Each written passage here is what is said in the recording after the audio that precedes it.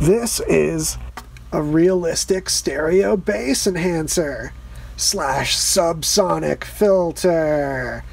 This thing just is an EQ for bass, and it's very warm and thumping, and I love it. It was my dad's. He liked bass too. These were sold by Radio Shack in I think the early 80s. Fun things to point out JRC op amps, just like the legendary Ibanez Tube Screamer distortion pedal. Rad athletic sock ribbon cable, and one of those LEDs with a nubbin face on it. I like these nubbin face LEDs. Today we have a rare reverse mod where I'm taking something that I modded previously and putting it back to stock. This is getting its RCA jacks back on it. Previously I put a switch that put the two stereo channels in series or just ran it through one channel.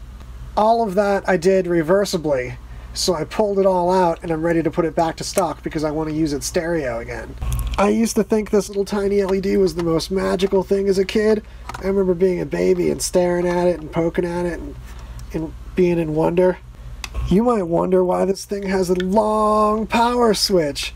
Well, it's actually true bypass. When you bypass this thing, sound goes all the way through without the circuit touching it and coloring it at all.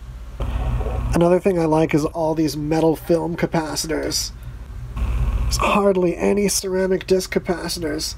These little chiclet looking fellas literally taste better. They have that late 70s warm sound I grew up with as a kid. This is why you gotta be careful pushing on 30 year old circuit boards. Even when I was a kid, this would happen with this kind of circuit board. This tracing actually lifted up off the board. See the piece of metal that's normally attached to the board lifted up there. Now what I'm going to do is run a wire from this to wherever the heck over here it goes, just to be redundant, because this tracing is fragile now. That residue is where you would have seen this sticker. Simulated rosewood grain finish. This is a realistic weather radio that I turned into a guitar amp previously. They are buddies. Time to pick a candidate from my screw collection. There's my battery light to look at my stuff.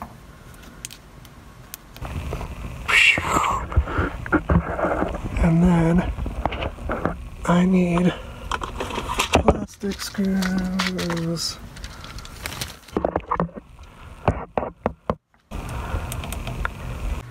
These were all scavenged from different stuff in 36 years of unscrewing stuff.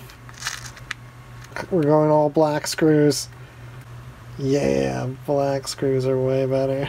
Holler if you know why the original screws on this thing had that little tiny dot on them. Online I'm reading it could be hardness or it could be how many times to turn the screw after it goes in, but nothing conclusive. If you know what that little dot on the screw is, let me know. So the bass enhancer lives here now with this realistic stereo reverb system. I wish they were the same width. Thanks, Radio Shack. Shout out to Cody Brandt for hooking me up with this reverb fella. And shout out to Chris McGinnis for lending me this Pioneer Spring reverberation amplifier. Look at this fella.